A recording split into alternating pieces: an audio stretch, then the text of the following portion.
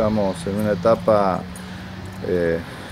como un poco, como a vos o decir, bueno, vamos un poco por etapas y bueno, estamos en una etapa donde bueno, hemos empezado la,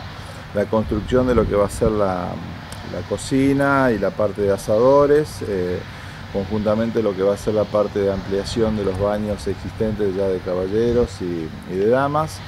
Y bueno, estamos en una etapa previa que nuestro objetivo es eh, poder llegar a techarlo en un cortito plazo, eh, cosa de tener ya más o menos, porque uno de los impedimentos que teníamos justamente para organizar reuniones y ese tipo de cosas es que no teníamos una, una cocina cerrada que bueno, nos imposibilitaba a veces por un mal tiempo tener que suspender este tipo de cosas, ¿no es cierto? Y bueno, como vos también has hecho imágenes, eh, también tenemos del otro lado el hall principal, también ahí estamos comenzando la construcción de una sala también. Y bueno, le hemos terminado también lo que es la sala de aire comprimido, nos queda solamente eh, colocar la parte de piso de cerámico, que ya también lo tenemos todo comprado, nos faltaría nada más que la colocación. Y bueno, un sinnúmero de cosas que vamos tratando de llevar adelante con mucho esfuerzo y con la colaboración también de, de mucha gente, de gente en forma personal, bueno, la comuna de San Carlos Sur que también siempre nos vive y nos destaca siempre con su apoyo permanente, bueno, el senador Pirola también que nos visitó hace un tiempo atrás, que nos hizo un aporte que hemos destinado justamente a este tipo de, de obra que estamos llevando adelante y bueno, una serie de cosas que hacen que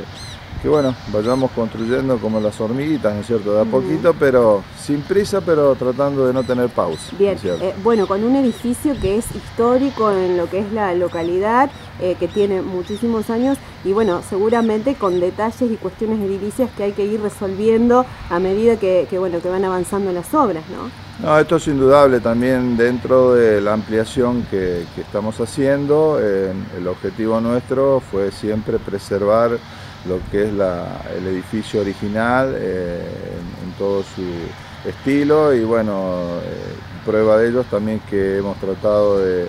lo que es la parte de abertura, la hemos restaurado completamente, lo que es la parte de ventanales del frente y ahora estamos en una etapa de restauración de lo que es la portada principal, la puerta principal, que es una hermosura. Eh, bueno, estamos en esa, en esa etapa de, tratando de mantener la puerta de aquellos años y tratando de recuperarla como se hicieron también con las ventanas y ese tipo de cosas.